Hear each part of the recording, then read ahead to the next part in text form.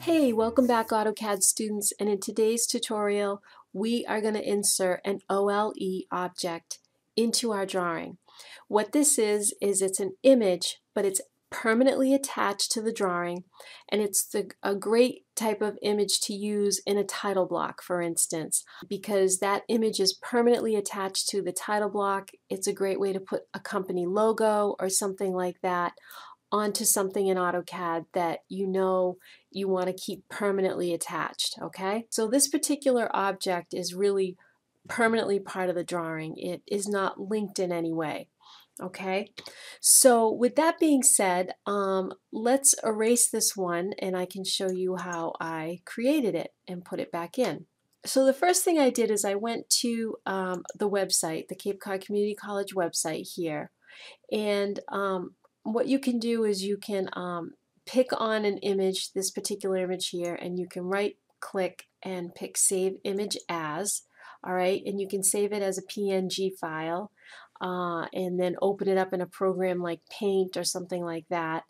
Uh, if that doesn't work and you want a certain image, you can also do a print screen, which I like to do, which is on your keyboard. So you're going to hold the control key down and in the upper right corner you have a print screen button and when you press those two together it actually saves an image of your computer screen okay so now that I've done that, I'm going to open up a program called Paint. Uh, most Microsoft Windows come with this program. This is a very simple image program that you can use. And I'm going to actually paste this into Paint because we've already done the print screen. So I'm just going to do Control V and that um, paste the whole image in. And I'm going to crop out what I want. So I'm going to come up here to select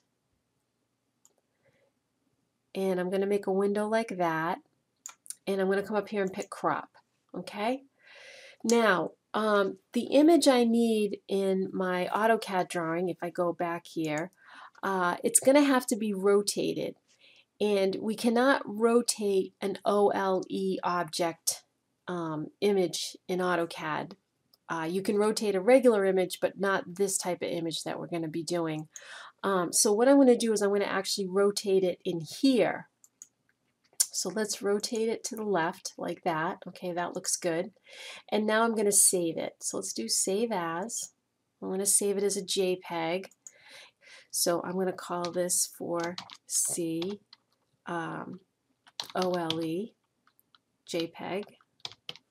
I'll call JPEG in the name too. You don't have to do that, but anyway, let's save that. All right. Okay, let's go back to AutoCAD. And you want to do a command. Um, I like to find it here from the pull down under Insert OLE Object. Uh, if you're not using these pull downs, you can also actually type in, and I'll type it in right now, I-N-S-E-R-T for Insert OBJ. Okay. And we're going to find it because we already made a file out of it. So we're going to do create from file. I'm going to pick browse. Okay, here it is. Let's pick open. Let's pick OK. All right, and here is, here it is, here's the image. So I'm going to move this image over closer to where I need it. Okay, now obviously the image is too big, um, but fortunately we can with grips, and I'm going to take my ortho off, um, with grips we can kind of scale it in the X and Y accordingly. All right, let's move it again. See how it's looking in here. I'm going to take my O-snaps off for a minute. Okay, that's a little bit big.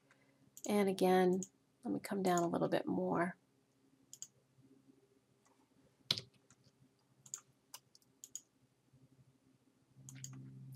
Okay, now another thing I can do, it looks like it's laying on top of the title block, and I'm going to make it just a tiny bit smaller. Um, I'm going to send the image to the back. So I'm going to actually come up here to the Modify panel, and there is a really neat command here called Send to Back. I'm going to click on that. I'm going to click on the image and do an enter. And now the image is underneath the heavy lines of the title block, okay? Let's move that up a tiny bit. Okay, there, that looks good. All right, so I'm going to actually save my drawing now.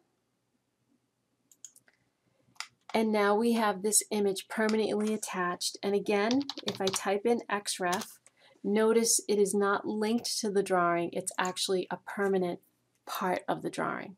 Okay, so I hope that helps. Uh, like I say, with any type of image that you're going to attach like this, do your rotating ahead of time in another program, save it as a JPEG, and bring it into CAD.